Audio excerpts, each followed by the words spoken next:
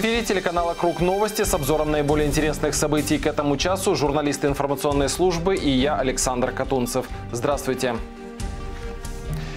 Сегодня в выпуске. В Одессе состоялась самая позорная за всю историю независимости нашего государства сессия Горсовета. Депутаты во главе с городским головой Геннадием Трухановым вновь показали, кто их настоящий хозяин. Избирательная кампания только началась, а Комитет избирателей Украины уже зафиксировал массу нарушений. Одесса и Одесская область находятся на третьем месте в Украине по уровню опасности работы журналистов. Накануне сессии городского совета перед мэрией прошел митинг. Одесситы пришли с двумя основными требованиями. Признать Россию страной-агрессором и прекратить незаконные стройки. Однако даже надежды на то, что депутаты прислушаются к их мнению, у людей нет. Подробности в сюжете. Из-за скандального проекта решения о признании России страной-агрессором прошлая сессия не состоялась в принципе. На этот раз его просто не внесли в повестку дня. Это вполне ожидаемый итог, говорят общественные активисты. Міськрада, ну, ну це для них неприродньо.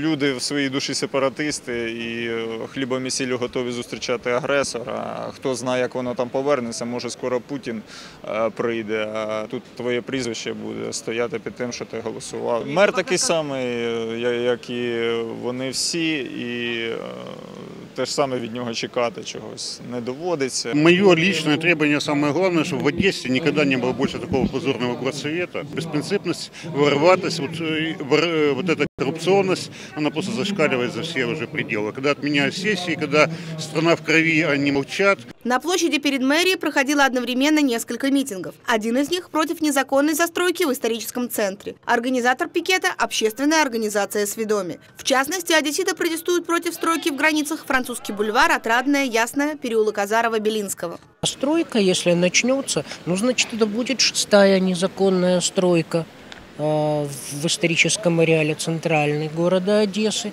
Пять из них уже в, в большей или меньшей степени в судах в которых участвует Министерство культуры и не только общественность. Мы хотим как бы призвать депутатов все-таки оказаться э, патриотами города, э, как говорится, патриотами своего э, кармана. Это их вина в том, что происходит в городе.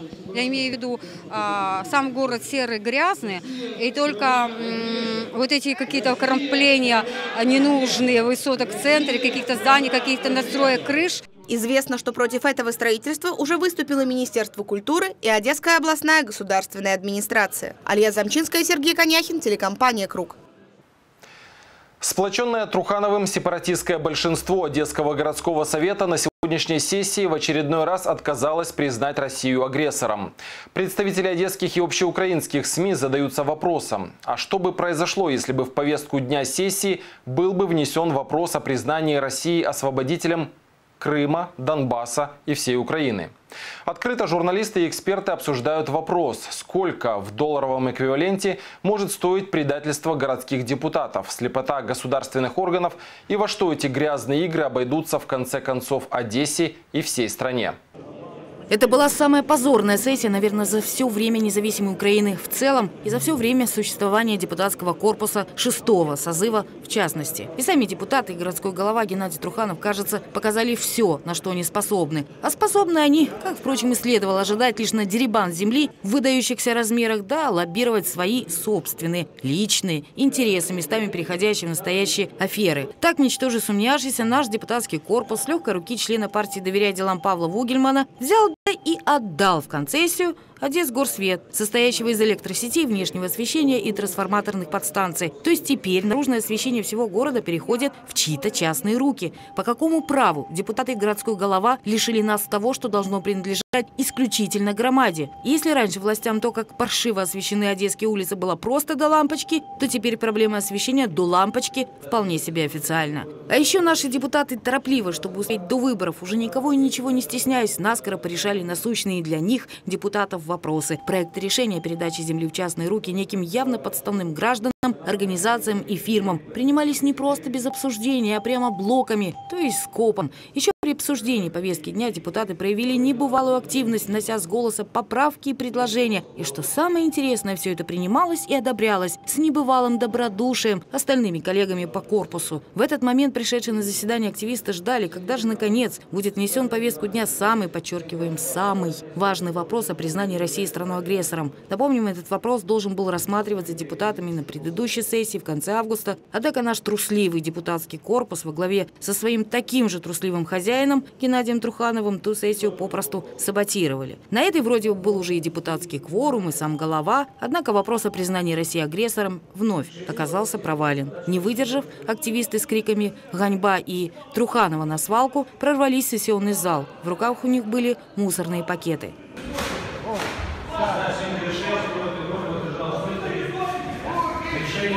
Одного из активистов, Сергея Гуцелюка, тут же окружили несколько весьма крепких ребят в штатском. Они схватили активиста и буквально потащили того к выходу.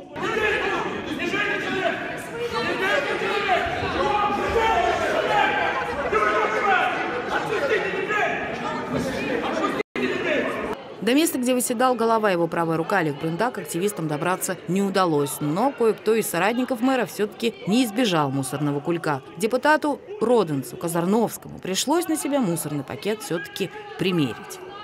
Давай, давай, давай, Ты!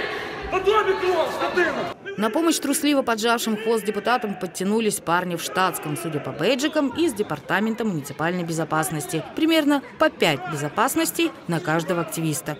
Пока крепкие ребята боролись с активистами-мужчинами, одна из слабых женщин, Алина Подолянка, не слабо сразилась с родинцами-сепаратистами. Впрочем, и здесь нашлось кому отпихнуть женщину-депутатов как бы мужчин. Справиться с остальными было сложнее, но муниципальная орда навалилась скопом.